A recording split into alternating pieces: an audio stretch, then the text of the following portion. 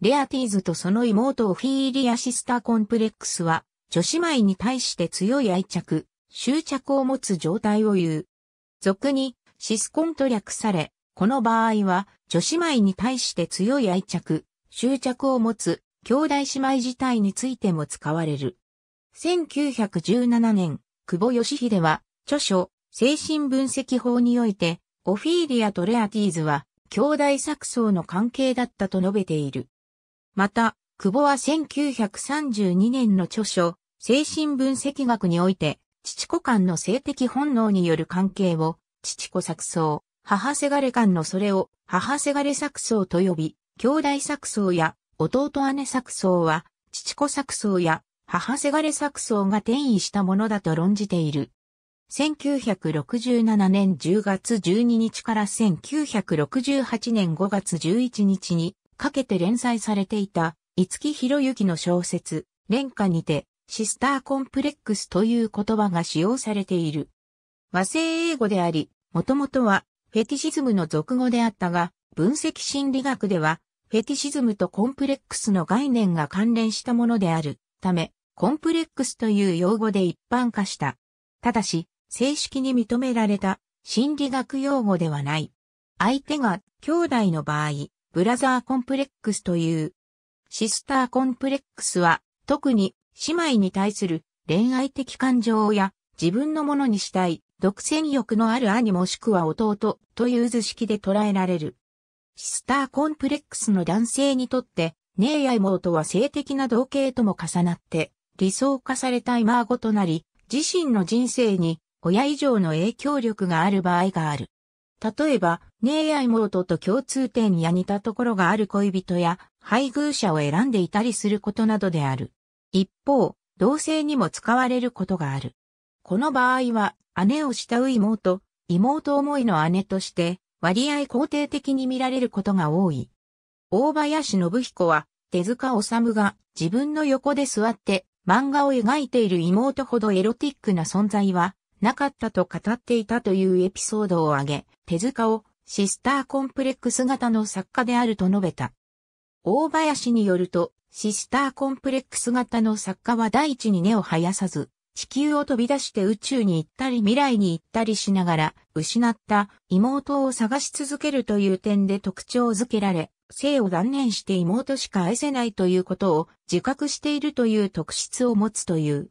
彼によると、シスターコンプレックス型の作家には、黒沢明、ハワード・ホークス、また、大林自身が含まれる。米沢義弘は、手塚治虫が他人に見せずに言った彼の特徴の一つに、シスターコンプレックスを挙げている。石森章太郎は、自らが姉に対するシスターコンプレックスであると述べている。ふもとじかひろしは、妹に対して連情を抱いたかのような小野高村と有原の成平の歌を引用し、彼らはシスコンであると指摘した。またふもとは三島由紀夫が妹の平岡光子を愛していたと述回していたことや熱帯樹などの兄弟相関を含む作品を執筆していたことに触れ、三島は質根であると述べている。原因に関しては、複数の心理学者が自説を展開しているが、それぞれかなり異なっており、定説と呼べるようなものはなく、不明であると言える。精神分析家のラカンは、家族複合において触れている。男児は、はじめ母親に対して、性愛を向けようとするが、その際に、母親が実際には父親を見ていること、もしくは、母親へは依存対象とすることから抜け出すべきだと気づき、親と比べて、年の差が近い相手として姉や妹に対して愛情を抱いたり、世話になったりすることに価値を持ってしまうのだと解釈する。ただし、この場合も母親の場合同様通常父親の虚勢不安によって止められるのが普通であるとする。児童心理学者ピアジェに関連する解釈では、兄の場合事故がはっきり形成されていない時期に自分が妹によって中心であることができず、非中心化が起こるため、その我慢した分を妹を支配することで解消していると解釈する。また、両親の離婚などで離れている場合には姉妹を姉妹であると見られないため、その場合にも連母が起こることもあるが、これをシスターコンプレックスに含めるかどうかは議論の余地がある。例えば、妻どい婚だった古代日本では、イボの場合の兄弟姉妹婚が許可されていたが、これは家が違ったためであり、兄弟姉妹という認識が薄かったためである。萌え用語としても使われるが、この文脈における用法は、実際のシスターコンプレックスとは意味合いに差異が存在する。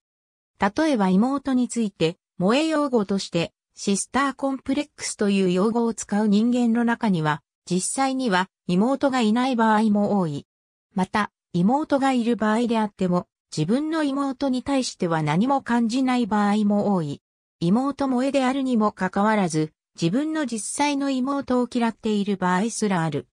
2000年代に入りこの用法の使われ方がメディアでは多くなり、実際のシスターコンプレックスの影が薄くなってしまっている。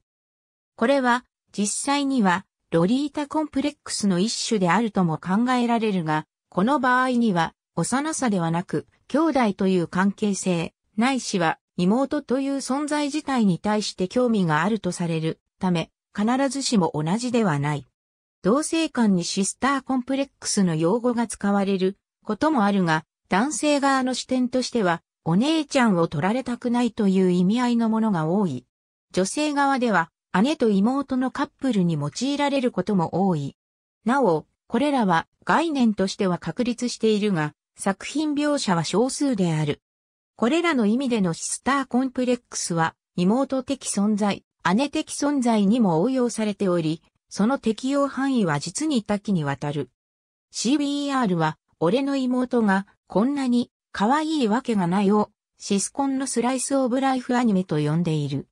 2020年3月27日に、角川は理想の姉妹を題材としたアンソロジーコミック、読者参加型アンソロジーシスターコンプレックスを刊行した。ありがとうございます。